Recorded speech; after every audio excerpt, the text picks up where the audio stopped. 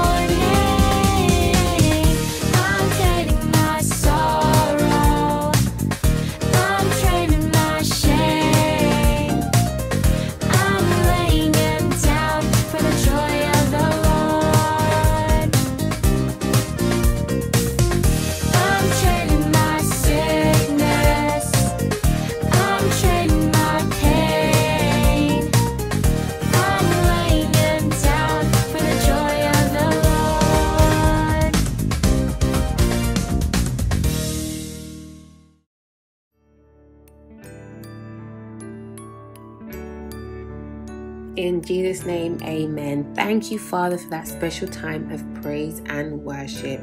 We thank you, Lord, for the opportunity to gather once again, to be able to learn more about you, to be able to grow in our faith, to be encouraged, and to be strengthened.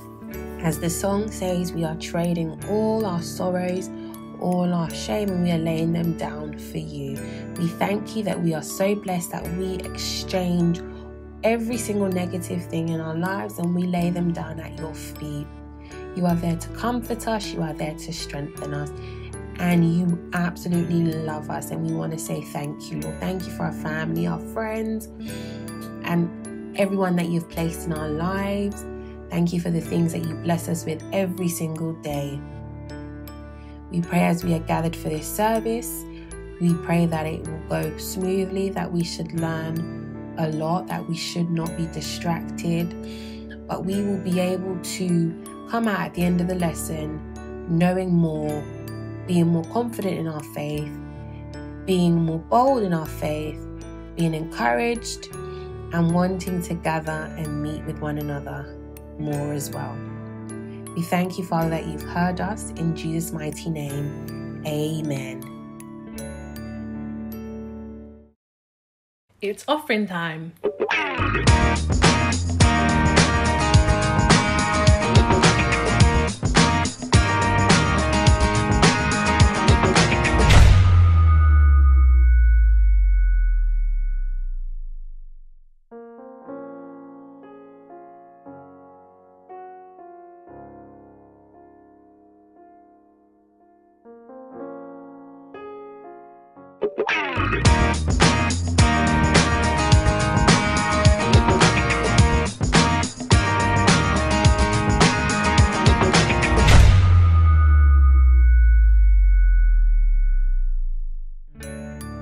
So now it's time for this week's lesson.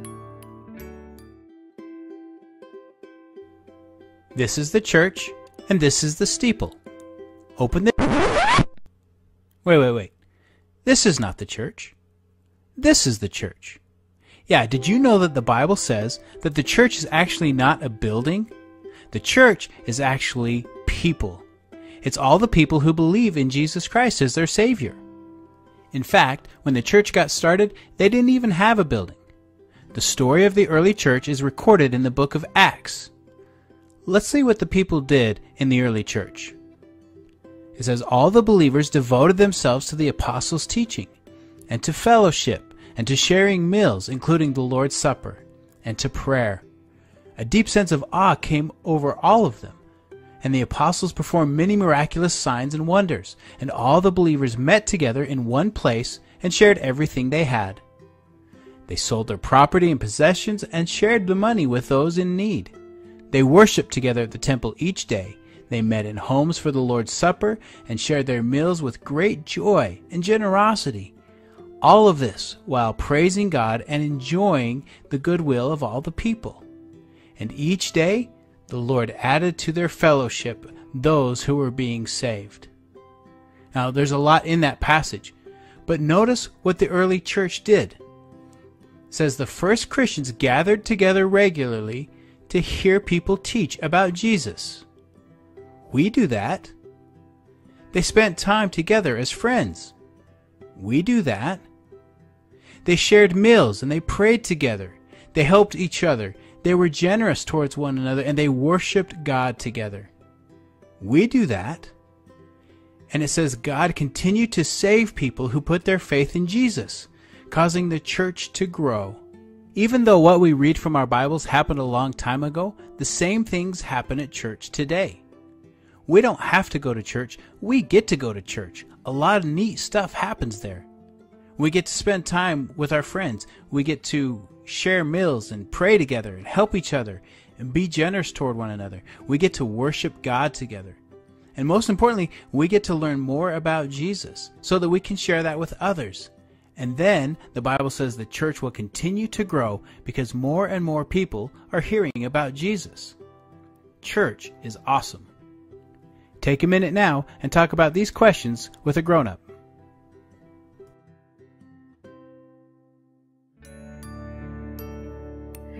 Amazing. So, church isn't just actually a building with four walls that we go to, church is a bit more than that Church is actually the family of believers. So we are the church. Just as the church met together and shared and lived life with one another, we are called to do the same thing today in church or as a church in today's time. We saw that the church began on the first day of Pentecost with the Holy Spirit with the Holy Spirit being received by the thousands of people the church back then served as a model for church what it should look like now. The church came from a mix of different people. When a person becomes a Christian, they become a part of the church. Being part of the church means you follow the church leader, which is Jesus. Being part of the church also means you are part of a new family. The other people in the church we should regard them as our brothers and sisters, and we should extend that same love that Jesus showed us to one another.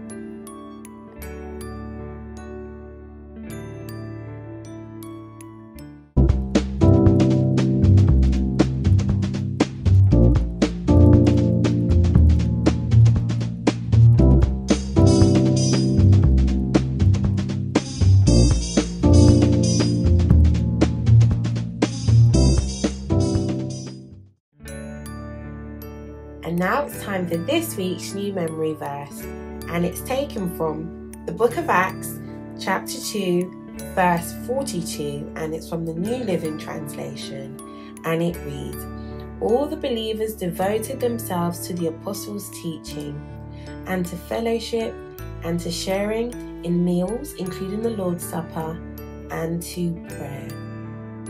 We saw this verse a little bit earlier on, and it reminds us that just as the early church were devoted, which means they committed all their time to one another and to hearing Jesus' teachings, they were also committed to meeting with one another, to sharing not only meals, but sharing in everything that they had. And they were committed to praying with one another as well. And we are called to do so as the church and the body of Christ.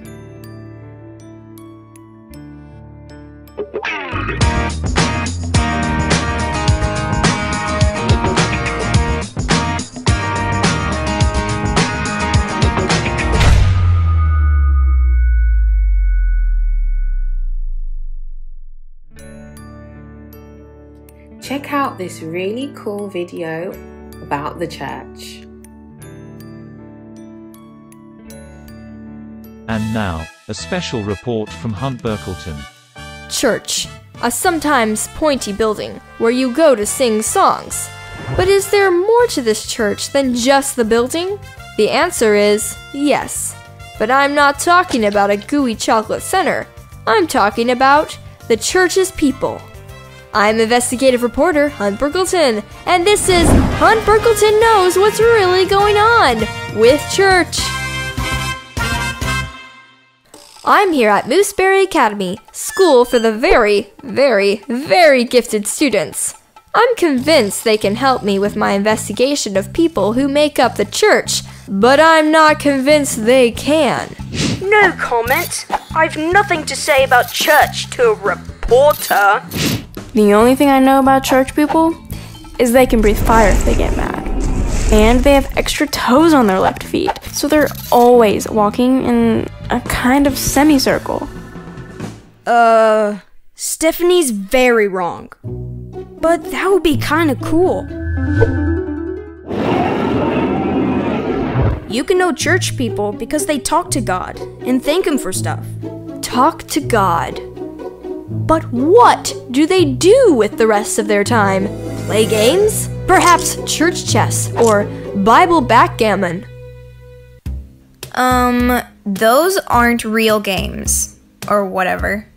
But church chess should be a real game. Kablamo! Figure out a way to play it on a flaming unicycle on a tightrope, and I'll play church chess too. The idea of a new game does sound interesting, but I can't help but feel like this investigation has taken a detour. The question at hand is what else do the people of church do? Maybe this will help. The church is made up of Jesus' followers. Jesus taught and demonstrated how to take care of people in need.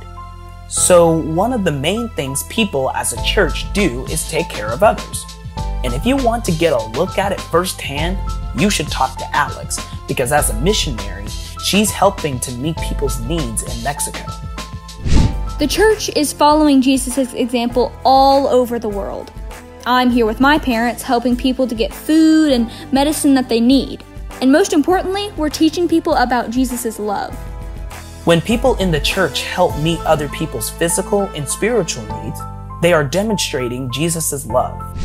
Demonstrating Jesus' love. A simple idea. More simple than a game of church chess, perhaps. But more powerful than a fire breathing church person. There's more to this church thing. So tune in next time for part three of my hard hitting investigation of the church. I'm Hunt Burkleton, and I know what's really going on with church.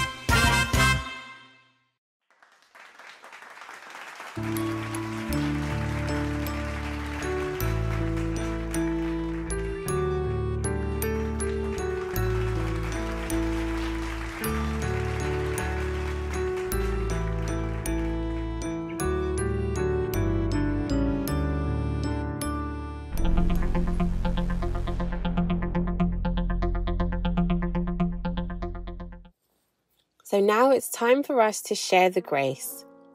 May the grace of our Lord Jesus Christ, the love of God, and the sweet fellowship of the Holy Spirit be with us now and forevermore. Amen. And surely Goodness and mercy shall follow us all the days of our lives, and we shall dwell in the house of the Lord forever and ever. Amen.